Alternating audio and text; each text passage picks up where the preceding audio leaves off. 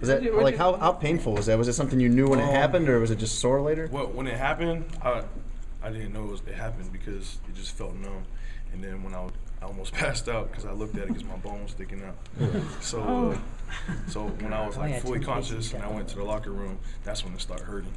So yeah, it was probably the worst pain I've ever been through. How, like how close are you to full with- range of motion in it? Oh, I can do everything with it. Was It's good. was fixing it painful too? Did they have to like? No, they they uh um digital blocked every nerve in here, so I didn't feel anything when they were popping it back in.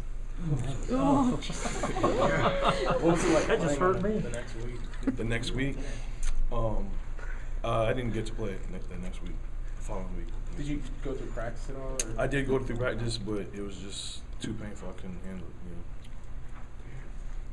What point did it start feeling considerably better? And. Um, the bye week. Or bye Okay. Week, yeah. And now, how much pain did you have Saturday? Saturday, I had no pain. Saturday. Carl was talking about that the Georgia guys were really gassed and were wheezing and everything like that. Yeah, they were. I felt sorry for them boys because we practiced we practiced that bonsai stuff, that no huddle stuff, um, for two weeks, and we were in shape. And then we had no mercy against them. They were like breathing, and they couldn't even get set. They were all walking around.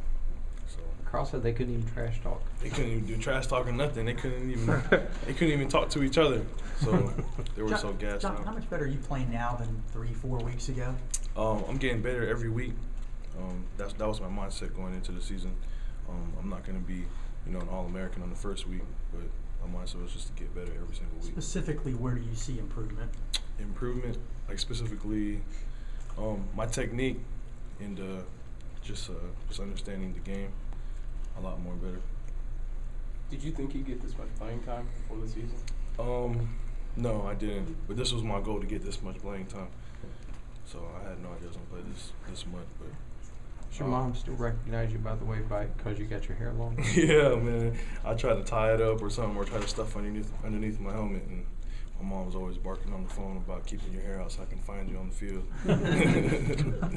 So, It What's looks been kind of the looks toughest- unmanageable. It looks like huh? it looks like unmanageable. Like that. Um, yeah, it is. It's a pain in the butt, but she won't let me cut it. So, What's been kind of the toughest thing for you? toughest thing for me. Um, toughest thing for me is uh, just playing through injuries. You know, when the team really needs you. That's probably the toughest thing. What about you know getting schemes down and Uh, going yeah, up that- against you know SEC defensive line? Uh, yeah, that, that that's tough. Like probably like the movement on the ball, like how's the speed. That's probably the toughest speed of the D lineman.